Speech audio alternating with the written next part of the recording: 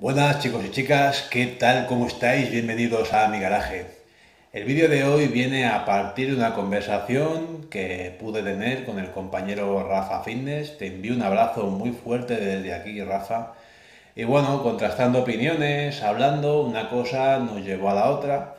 Y total, que al final acabé descubriendo una serie de cosas, una serie de pruebas que son bastante interesantes y digamos que de alguna forma os pueden ayudar a determinar si esas molestias que sentís en el trabajo del tren inferior, en la sentadilla y demás, es un problema propio vuestro de ejecución o realmente hay un problema ahí estructural de dismetría o de mala funcionalidad propia del propio cuerpo.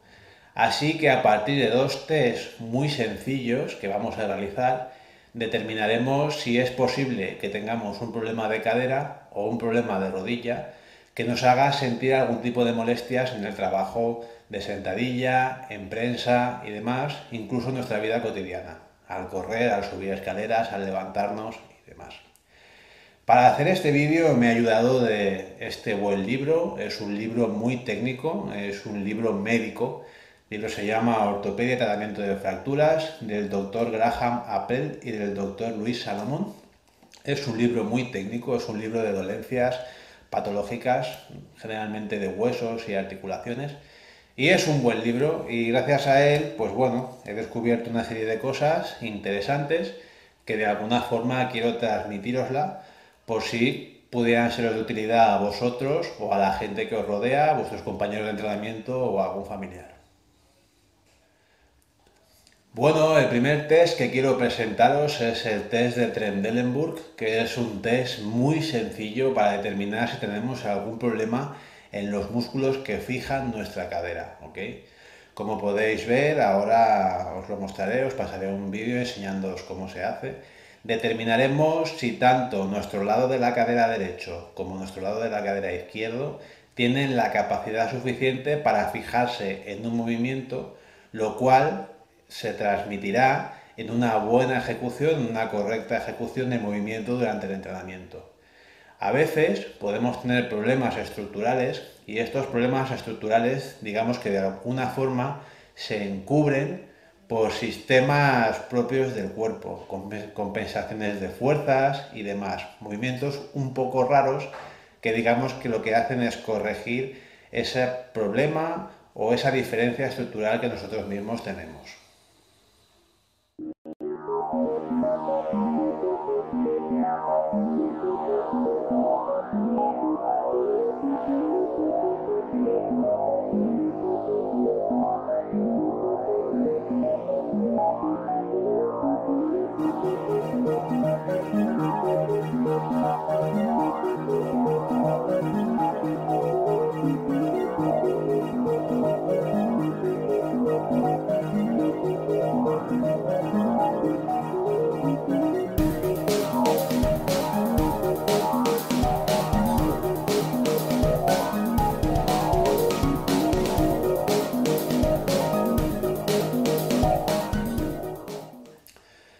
Siguiente test que quiero mostraros es el denominado test de Alice y es un test muy conocido, muy fácil de hacer y este test lo que va a hacer es determinar si la longitud de nuestras extremidades son iguales.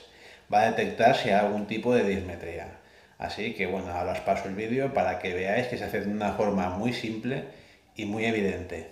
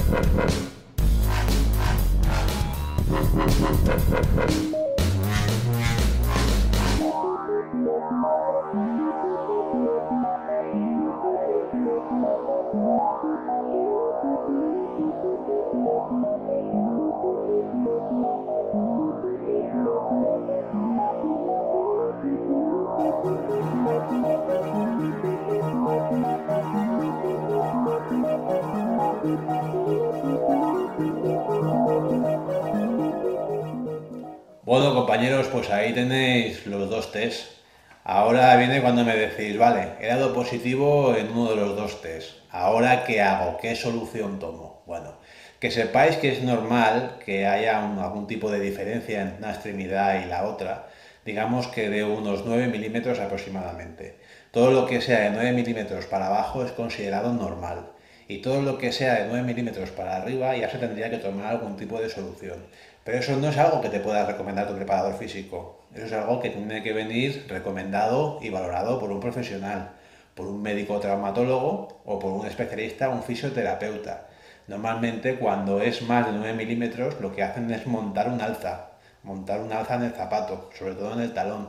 Pero esto es algo que tiene que determinar un profesional y ese profesional el cual tiene que determinar y valorar esa prueba. Tú puedes tener una rodilla más alta que la otra, pero hay que determinar si es tu tibia o es tu fémur, que es más largo que, el de la otra pierna.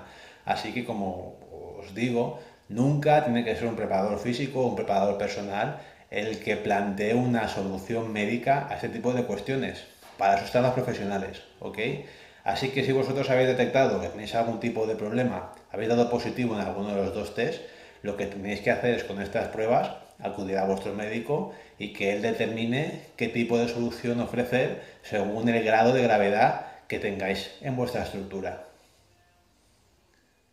Bueno chicos y chicas, pues ahí tenéis la información. Espero que todo esto os sea útil y de alguna forma estas pruebas rápidas y sencillas son bastante evidentes para determinar si es que tenemos un problema de ejecución y no sabemos ejecutar los ejercicios por los cuales sentimos molestias, o es que tenemos algún tipo de deficiencia estructural o algún tipo de problema estructural el cual nos impide desarrollar esos ejercicios en condiciones. Así que el objeto de este vídeo más o menos viene por ahí. Espero que la información os haya sido de utilidad y como siempre os digo, seguiremos peleando de una forma limpia, sin basuras de por medio. Así que vamos a por ellos. Un fuerte abrazo, compañeros y compañeras.